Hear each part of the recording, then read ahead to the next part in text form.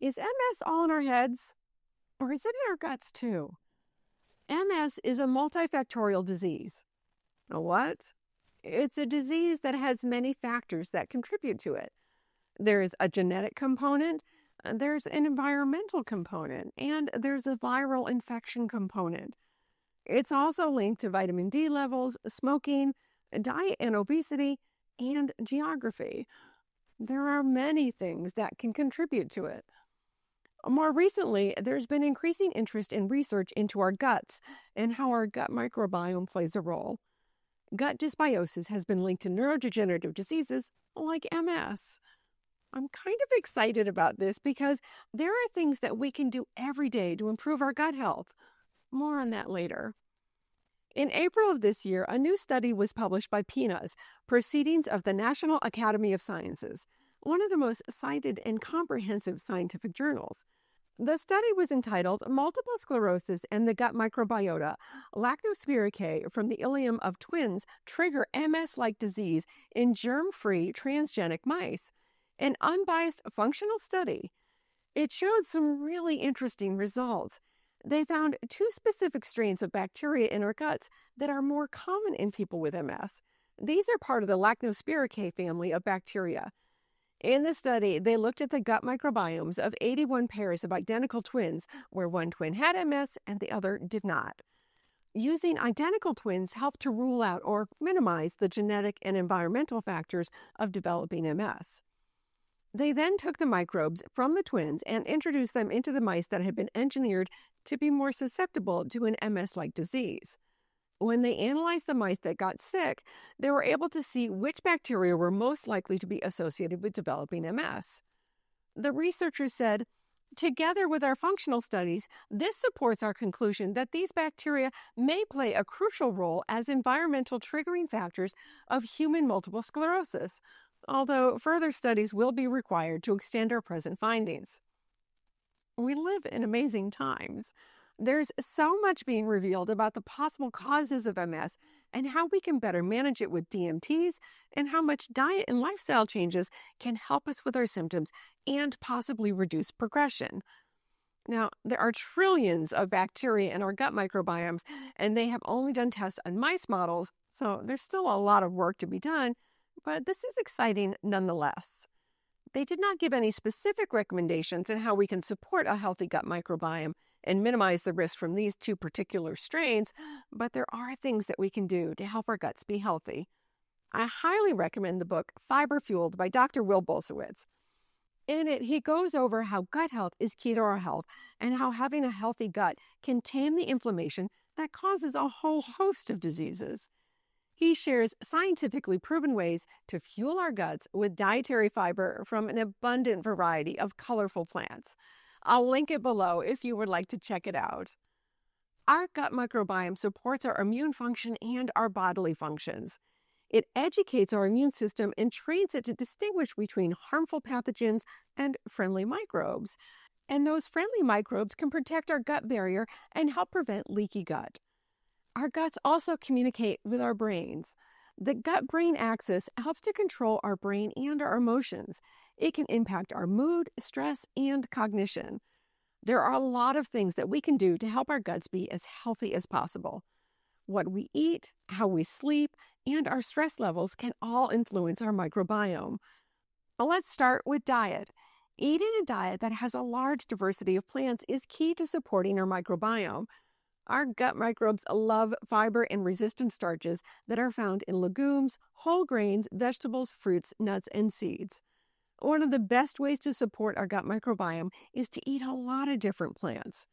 The Microsetta Initiative, which is one of the largest microbiome research studies, recommends at least 30 different kinds of plants in a week to support a higher microbial diversity.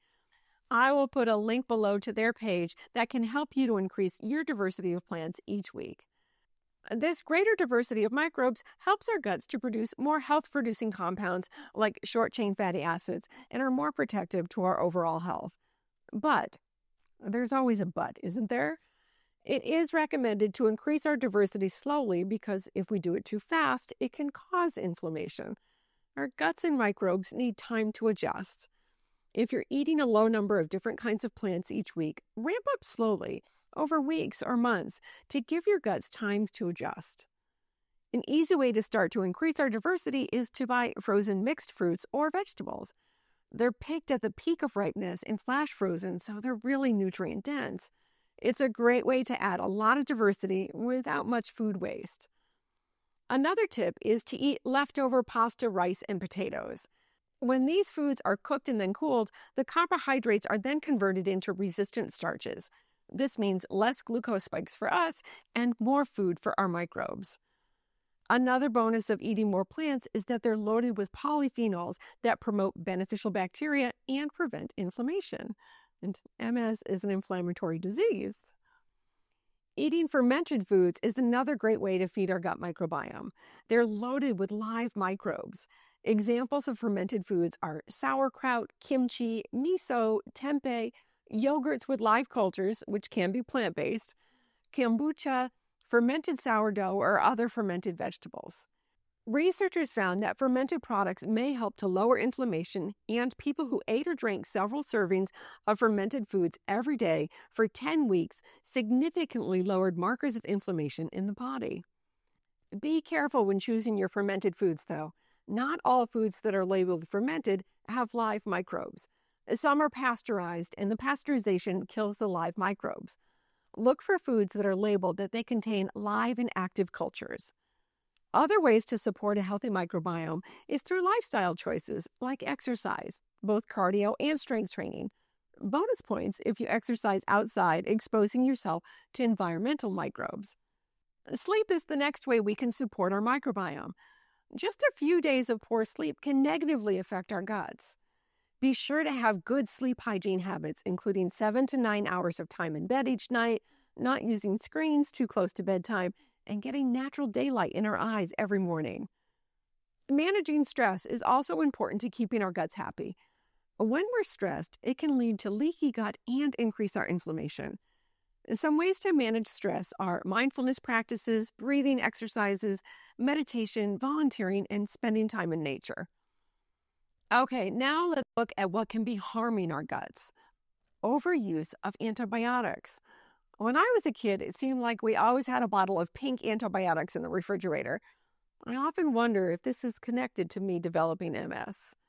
Yes, antibiotics are important when needed, but as a society, we're really overusing them. And not just on us, but on cows and chickens and pigs too. Living in sterile environments can contribute to less microbe diversity too. Uh, playing in the dirt and having pets is good for us. Next is ultra processed foods. These foods are lower in fiber and full of ingredients that can harm our microbiome, like emulsifiers and preservatives and other chemicals. They do nothing to feed our guts what they need. And when we eat ultra processed foods, we crowd out healthy foods. Luckily, our gut microbiome is dynamic and highly responsive. In a nutshell, if we increase our fiber intake and diversity of fiber, exercise regularly, and get good sleep, we're helping our microbiome to be healthy. The question of the day is there's some research about gut microbiota and muscle mass. Would you be interested in a video like this? Let me know in the comments below. If you enjoy content like this, please do me the favor of hitting the like button and subscribing. This really helps the channel.